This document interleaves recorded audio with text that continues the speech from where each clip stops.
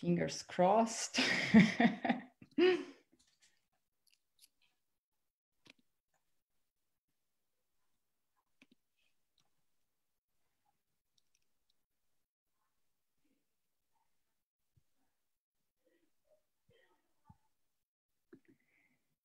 Hello, everybody. Thank you for joining us here today. Uh, I'm Fabiana Bacchini, the Executive Director of the Canadian Premature Babies Foundation.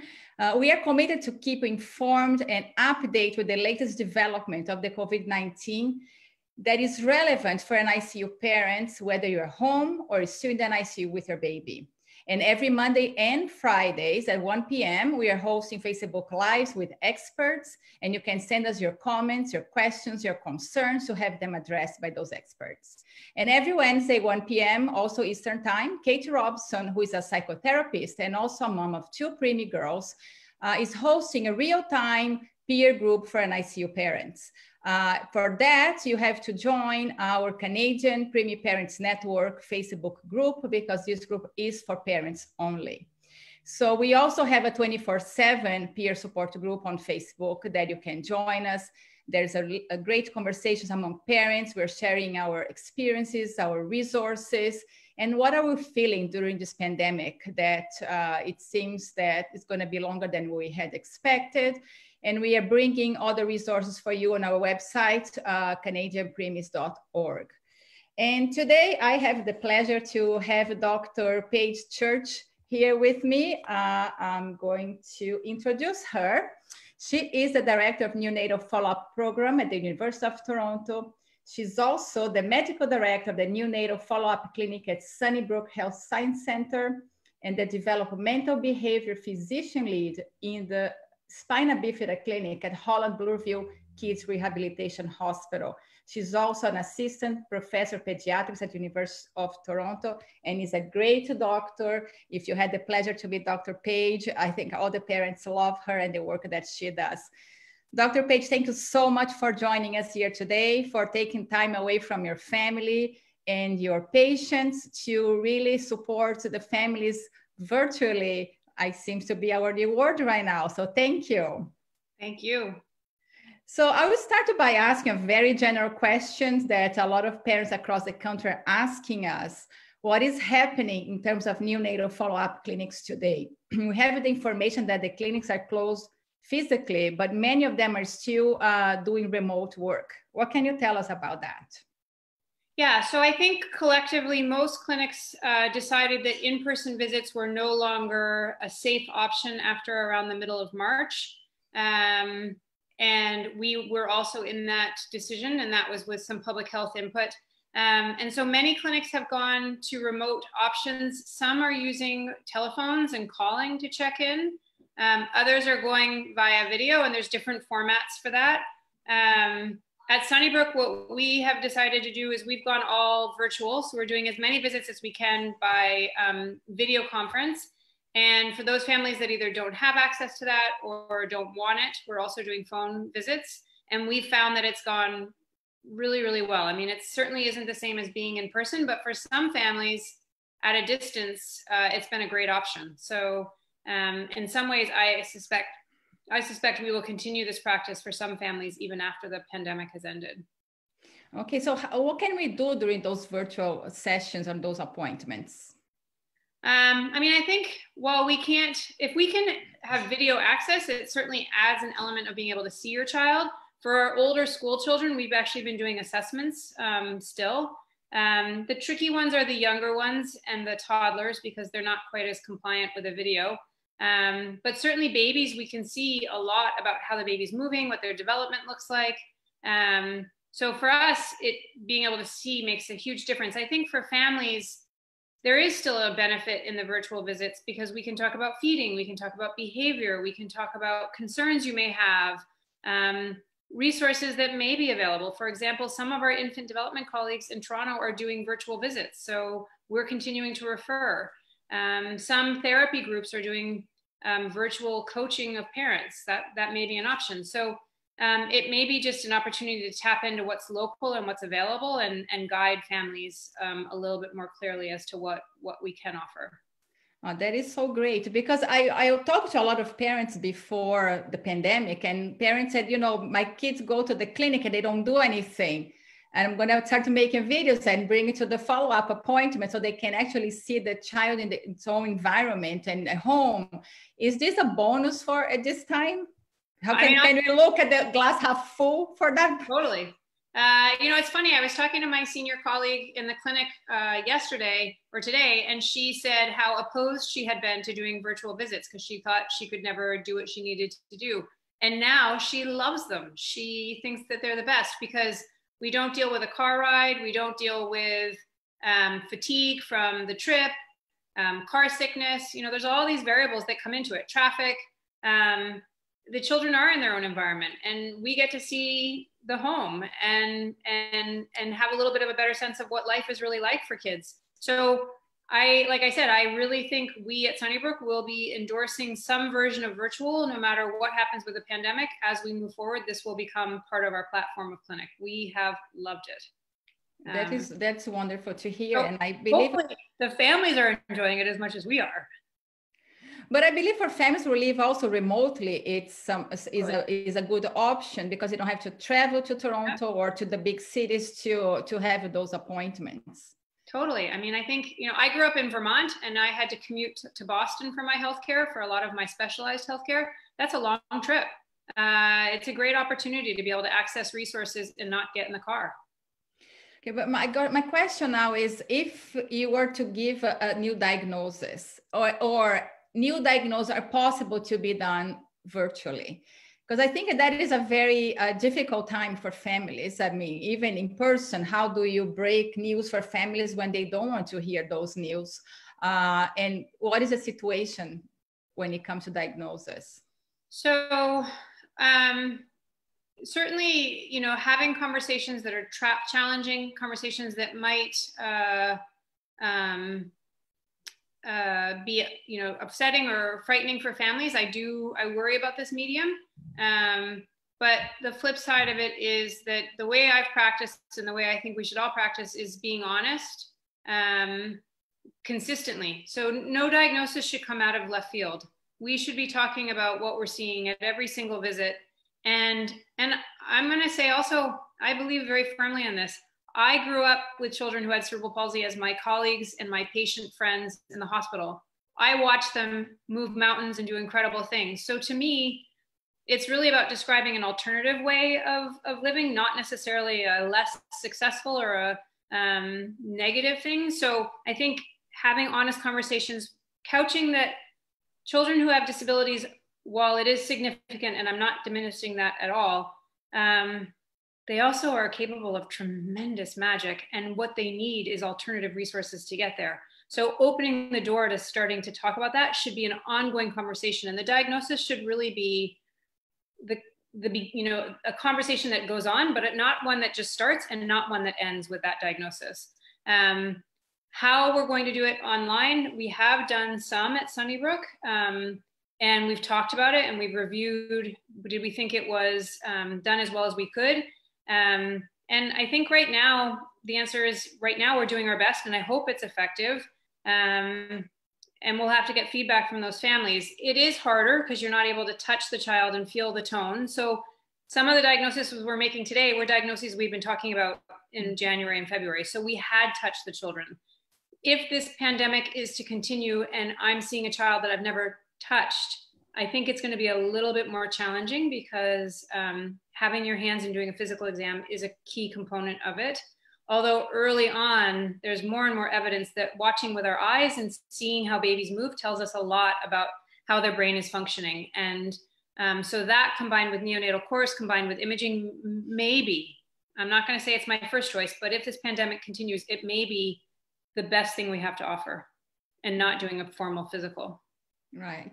Paige, but your uh, perception and uh, the way you approach disability is very different than a lot of other physicians because of your own experience that you share so openly. And uh, for me, as a mother of a child who has cerebral palsy, I really always appreciate the way you talk about it and the possibilities for those children, uh, which is my own experience. When I remember when I left my own follow up appointment with the diagnosis of cerebral palsy, and I felt that the world had collapsed. I say, where do I move from now? Where do I go now? Until I found my new peer support group and new therapies and what could I could do for my son. But at this time, if you make that diagnosis, that is really life changing for that family, and we know all the therapies and all the the centers are closed what can those families do? Where, where they can go for for help for support or to move on with that child's development? Because six months for a, a baby's life it's a lifetime. Yeah.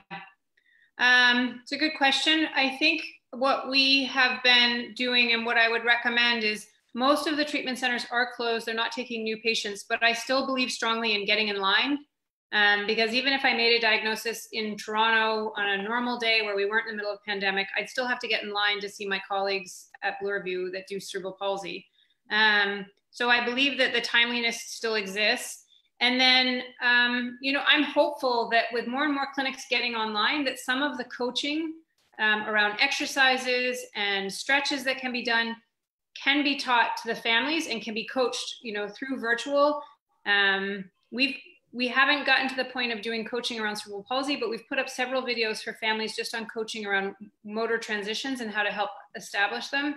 Um, and I think that that's a great first step. I think becoming educated um, about the diagnosis, learning about all the incredible human beings that exist with this diagnosis and the things they've done, and reframing your expectations. I still anticipate that these children have opportunities opportunities for an advanced education opportunities for jobs opportunities for you know my ultimate goal and the one that if i can really like slam dunk it, it's been done well that they have an opportunity for an intimate relationship that is fulfilling as they become an adult not until they're like whatever 30 or 40 but you know that is where i've struck gold. And there are many human beings who have significant physical disabilities that are married that are sexually active that have incredible lives and that's that's what we all want. You know, how you get there, you know, we'll do it.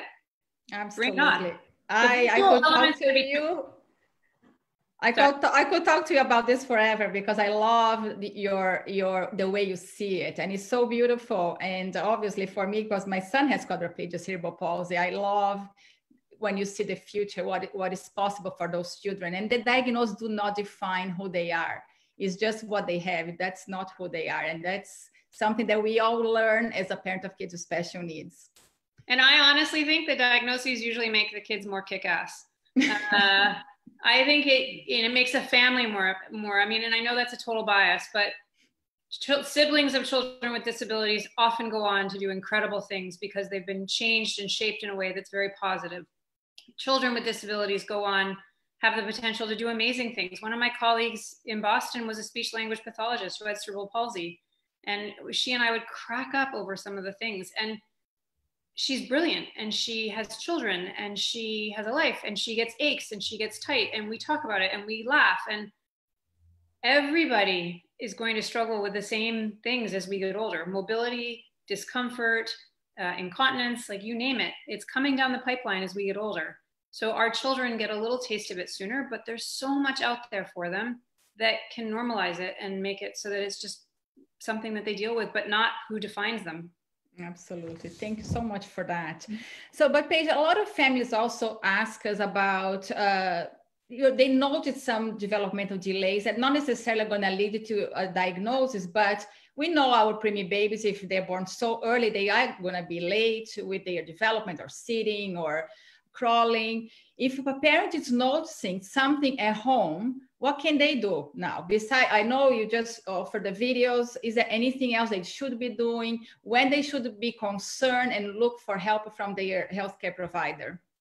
Well, I think the first thing, and this is common knowledge, but I think sometimes we lose sight of it, is that children catch up in their own way. And uh, the smaller, the more prem they are, the more, um, sometimes the more, the harder it is to predict exactly what they're going to do with their catch up but the general trend is that the smaller, the more immature, the longer the catch up's going to take. Um, and so in the middle of this, it's going to be frustrating. There's going to be moments where you, you might get really stressed, but I would go back to looking at what your baby's accomplished and, and where they are and what they're doing and sort of celebrate that. Um, you know, we saw a little girl um, and she's not, she's, she's not delayed for any significant reason. uh, she's a little motor delayed and part of its opportunity. She's sort of a, a bigger baby. Um, and so we were talking about putting her in a hamper and helping her learn how to sit by sitting in a hamper because it's kind of safe. You know, you know what a hamper is? Those mm-hmm. plastic baskets. Because um, she can sort of wobble around in there and it's it's fairly safe, or even smaller, like a Tupperware bin. Um, there are great ways to just help our kids start to work on their muscles and, and exercise them. Old fashioned things like putting them back on their tummies. Um, we don't need a lot of toys to establish a lot of motor development. Um, that's a great way to encourage um, basic motor development. If you don't have a bumbo seat, we're using kind of plastic bins, stick them in that. Um, you know, we can be creative. Supervision, keep them on the floor so they don't fall anywhere, um, and just keep keep enjoying them. And with the enjoyment, they will develop. There is no way a child will develop will not develop with that kind of input from a mom or a dad or a parent. It's oh, so, huge. So how about the behavior uh, mm. issues? Because now, uh, obviously, it's an extra layer of behavior issues that I guess we're all experiencing by being home, not being able to go out or to socialize with friends. Obviously, for children who already were prone to have some behavior issues, and now we added this new element. What yeah. can parents do? Uh, what should they be watching for? So I don't know if you can see this. I see if I can put it up there and it'll come up. Nope, it won't show. Uh, anyway, it's a great New Yorker cartoon, and it has these two parents sitting at the table in the living room, like relaxing with a cup of tea. And then there's like a doorway, and their kid is flying by the doorway. And it says, She was Zen five minutes ago.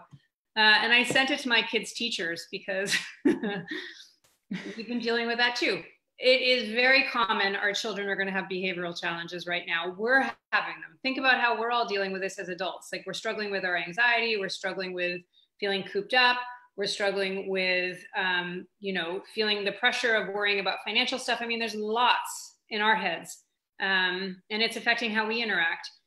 You can only imagine them with children. Their routine has been disrupted. They're not getting out. They're not getting the same exercise. It, they're bound to have behavior problems. So what I would say is the fundamental things are bookends. So have your day start and end uh, in a fairly regular and regimented way.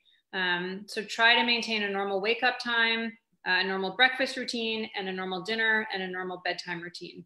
If you can just establish those things, and this is tricky, you know, I'm working full time, my husband's been working full time. Um, so for us, that's really not very easy, but we've been really, I've been trying very hard at sort of establishing that and then, you know, if you can establish a routine, and I would try to encourage that routine has a huge amount of physical exercise. Um, children need it in order not to get squirrely. Um, so while parks are closed, you can still go for walks. You can, like one of my neighbors, I thought this was brilliant. Um, she put mittens on her kids and she let them, she turned picking up garbage off of the, the grass uh, into an Easter egg hunt. And could they find it? And so these kids were scouring the yards looking for garbage and picking it up. And they're like, oh, I found some. And they're holding up a Starbucks cup. And, um, you know, that's a great way to get some exercise out. Take them out for bike rides. Um, those are going to be key things. And then trying to establish a routine. So maybe it's quiet academic work from nine to, depending on their age, you know, half an hour if they're really young to an hour if they're older. And then there's a wiggle break. And it might be that they do, they go on Zoom or Google and they look up a yoga class or a exercise class and then they sit back down and they do academic work or if it's a younger child they do another activity. One of the greatest things I saw on Instagram was contact paper, sticky paper, although I think you could do it even with saran wrap and you put it on the wall with paint tape and then the, you paint she painted a fishbowl and she let the child put, you know, she cut out little fishes and this was a 18 month old or a 15 month old. She was just sticking the fishes into the fishbowl and, it, you know, it occupied a good half hour. Another thing she's got is a bin full of rice and she dyed the rice different colors and the child sits there and plays with that. I mean, there's all sorts of things you can do with things you have at home to keep them busy, keep them active. The hardest is going to be for families that are trying to work and there's a two parent career. And then for small children, there's going to have to be a give and take. Someone's got to be on the child, and someone's got to be on on the work front. Um, most companies, I hope, are being fairly forgiving of those situations um, and allowing employees to take some time to to be with their toddler or their infant. Um, but it's routine, routine, routine, routine. Even in our clinic, to keep the clinic staff and myself kind of calm, we have a routine. Every morning at 8:30, we do what we call a huddle and every morning, every afternoon at four o'clock, we have a debrief huddle. and that happens every day. And it's just a routine to just keep us in the habit of getting up getting dressed. You know there's some pressure if you have to face your colleagues at 8.30 absolutely. Not to, to do a, a call in your pajamas in the morning. But you also mentioned for older kids to give them some chores around the house yes. to reach out to their friends. I think we are so um, consumed now that we need to do homeschool when we don't know how to do homeschool you know honest unless you are a parent who is also a teacher. We are struggling with the technology that to use for our kids in the classroom and how to teach the, the curriculum. Is it okay to relax a little bit and teach kids to do the chores, to do the laundry, to help us cook? Yeah, and I think it helps children for the older kids. It helps them deal with their own worries about this, to feel like they're helping out, they're participating. You know, right now I'm working in the hospital two days a week um, until next week when I go on service. And when i'm away my daughter's in charge of lunch for the house and you know and she's done it and she loves it. And helping out with laundry sorting the laundry starting the laundry. I mean these are life skills and there's a great chance to learn them. So that's a great way to keep them busy as well. And then i think for the older children they need their peers. They need to have connection to, to other people. Um, so letting them have facetime with their friends encouraging it setting up um, zoom like play dates or um, Zoom exercise dates where the girls all exercise or the kids all exercise together. Like those are great ways to sort of get them engaged with each other, playing with each other. More and more sports clubs are doing these little groups where they'll do like drills together. Um, you know, it's a great way to sort of set up some uh, some community. Absolutely. We so much need this community right now. And you even mentioned to try to have a birthday celebration when you're talking uh, offline before, so the kids still have that sense of, you know, some normal, uh, whatever that normal looks like for a family, that things still go on. Yeah, I think things that one family would celebrate should still be celebrated, regardless of the pandemic. We just have to find a creative way of doing it differently. Yeah, you also we're also talk about uh, screen time because I know that there was not a recommendation for parents of preemie babies or any baby that were or baby or a toddler to be uh, glued to the screen or to video games. And I know there's some different recommendations now during the quarantine. What are we uh, recommending now? What are the alternatives? So. Um it, not so much for babies, but the American Academy and the Society for Developmental Peds have both sent out emails and they haven't made it a policy statement because I think everyone's hoping that this won't last long enough where we need a policy. But they've both sent out emails to all of their members saying, you know, we could probably relax the rules on screen time. Um, if you think about how we're existing for work and for social, it's all through our screens. And so for our kids, we have to sort of give them a little bit of a break and let them have their screen time longer than we would normally tolerate um, to keep everybody just sort of sane. And you know, we put up on our um, our site some good websites that were, you know, if you're going to do screen time, some fun things to do. Like Google has all these. You can tour streets in Paris. You can uh, go to China and walk around. Like there's all these cool opportunities that are, if you're going to do screen time, could be educational ways to do it. So even though you're not necessarily on your school curriculum, your child's still learning you know that's another alternative that um, that can be really nice but i think chilling out on the screen time for now is reasonable. It nice. certainly is we're telling all of our families and i put up a post saying relax it's okay.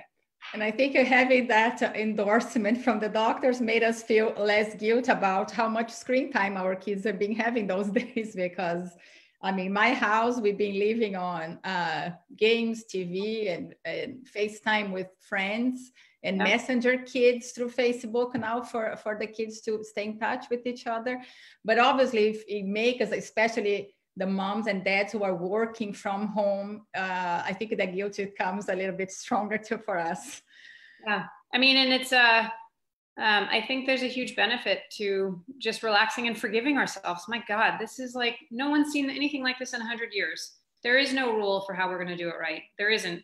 But I think if we try our best and we sort of lighten our restrictions a little bit, I think we'll all come out of it just fine. Uh, thank you for that. But I also want to uh, touch base on the parents' own well-being because we were talking before and you mentioned to me offline that kids do pick up on our stress and certainly this time is making parents more stressed because not only with what's happening uh, with you know the virus itself, but also uh, you know financially it's going to affect so many of us the jobs and there's so many things on the line that is way beyond just the vi- i mean not just but the virus. So how can we better cope so we can help our children better? Yeah um, and after we're done i can send i couldn't find them before but i can send some of the stuff that we've written and put out. But um, i think each individual kind of has whatever their recipe is to help them relax. And you may have discovered it when you were in the NICU. You may have known it before you went into the NICU. Um, you may have discovered it after. But whatever that is, I would say do it, um, unless it's going to a shopping mall. That's just not going to happen. Um, but you know, for example, going for walks, um, uh, continue to do it you know, even though the parks are closed, there's lots of places to walk. Uh, watching spring blossom has been amazing this year. I don't know if I'm just more aware of it because I, I walk a little bit more. Um, um, you know, reading. Some families really escape by reading. So public libraries often have ways to get virtual books. So Toronto Public Library has a way you can get all your books virtually. Um, that's a great solution, and it's it's it's free. Um, it might be Netflix and chill out for a couple hours. That's fine. Uh, yoga, there's tons of Zoom yoga classes, Google classes on yoga, um, exercise, like, but we have to take care of ourselves. We have to eat, sleep, and have some sort of a schedule in order to support our children. And, and we owe them that. We do owe them that. While we can't control what's going on, we can control how we react to it. And I think where I take comfort is there's not one person that I can think of that isn't going to be affected by this virus in some way. So while it is frightening to think about the economy and what's going to happen, the flip side of it is we're all in it together and we're all going to have to find a way out together. Um, so, you know, for now, all I can do is keep myself inside and, and play the part of minimizing the fallout from this and hopefully containing how long we have to be contained. Absolutely.